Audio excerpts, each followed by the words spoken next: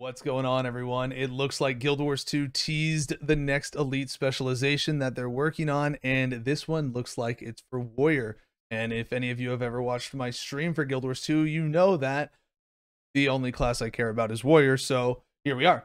And if you also watched, you know that I was dreading, absolutely dreading any and everything about the idea of Warrior's elite spec being pistol I personally wanted a staff more than anything for it for it, you know, like warrior monk type, you know, elite spec. And uh yeah, we didn't get it. No, we got pistol and uh I was really depressed about it. But then this image came to light and this is really interesting because this is not your typical pistol. This is very much so a gunblade.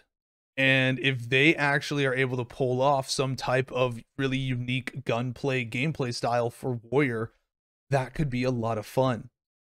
So we're going to break down this image a little bit. There's a lot of actual, there's actually a lot of little details here to look at and analyze. Um, so the first thing to look at here is this is obviously, you know, like the hilt of a blade. This is not how you would, this is not, you know, the handle for a gun ever. This would never be like a, a gun's holding point. Um, but this is where the trigger is for where the finger would go. But other than that, you know, you know, he's holding it like he's drawing a blade, which sure enough, he's pulling this out of a scabbard.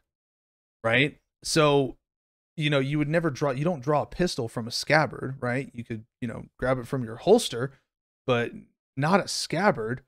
Um and you know, something to note right here is that the scabbard is actually cracking apart right here at the top of it as he's drawing it. And so, you know, it's obviously not like a normal type of blade. There's clearly some type of energy involved in this. You know, you got this big glowing light coming out of it as he's drawing it. And that could be what's causing the scabbard to crack upon being drawn. And so, you know, it raises the question of like, all right, what's the barrel here? Right? Is this the barrel or is this the barrel? And you know the in terms of triggering it as a pistol mechanic you know how is it going to function? Are we going to be you know firing energy blades out of our pistol? Which would just would look a little goofy um but you know it you know these are things to take away. And you know for people who are wondering well how are they going to do this? Because you know the, you know pistol how is how are the skins going to work for pistol for this and it could very easily be something that I think that they would do similar to what they did with Holosmith. You know, Holosmith, while it uses sword, when you're actually using Holosmith's abilities and its transformation form, um, it completely gets rid of that sword skin appearance and uh, you know takes on its own unique appearance for it. And so that is something that they could potentially uh, do here as well. Um, you know, it could very much so be that the gun blade mechanic itself is part of the rage form for warrior, your adrenaline usage. It could be an adrenaline form that you use.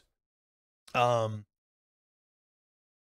but outside of that, it could just be a normal pistol. But then if you when you go into rage mode, it transforms into a gun blade and then it takes on that unique appearance. That is something that they could very easily do with it. Um, but it is really interesting overall because a, gunblade is a really awesome fantasy weapon design, and it's something that a lot of people really like in a lot of gameplay styles. Like I know Gunblade in Final Fantasy was like the one of the most popular things that they could have ever done for it, and people have just eaten that up. So personally, I'm really all all about this Gunblade. Um, um, one other thing to note about it actually looking at it is the the gloves. If you notice there's giant armor piercing bullets um all around the forearm gauntlet bit for the glove, which then as well on the backhand is these two barrels actually. And so the glove itself, the it could be a um a little gauntlet cannon, right? A cannon glove type thing where you actually literally load the bullets off of your glove into the chambers right here on the glove and fire them out of your glove as uh, you know that could be something that's a mechanic for the class in itself along with this. And so, like, you know, there's multiple things on here that we can look at that can be attributed to how this weapon could function for the warrior.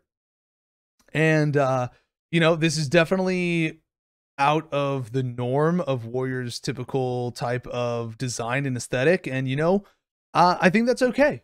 I i think i think warrior can use a little flair you know? It's warrior has always been a very straightforward um very obvious play style and appearance and you know its animations have been maybe a little too forward you know? It is often found that warriors probably i mean thinking about it from a pvp perspective warrior's always been like the easiest class to read in terms of like what its you know actions are it has very uh, exaggerated animations for a lot of what it does and very straightforward animations to it, right? Not very much with anything sort of elusive or flashy um, in that regard.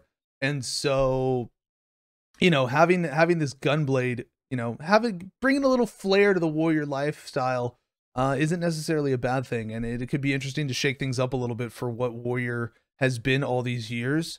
Um, and so I'm really interested in it, and I'm very curious to see how it you know plays out but yeah, that's uh just some stuff to look at here for the Warrior Elite spec, allegedly. Um, looking forward to checking it out on September 21st once it comes in the uh, testing window for that weekend. So we'll definitely be checking that out. So if you guys want to want to drop on by and check it out with us, uh, you can find us on Twitch at twitch.tv slash Zav. And um, if you enjoy the video, be sure to like and subscribe as always. And we'll catch you in the next one. Take it easy and have a good one.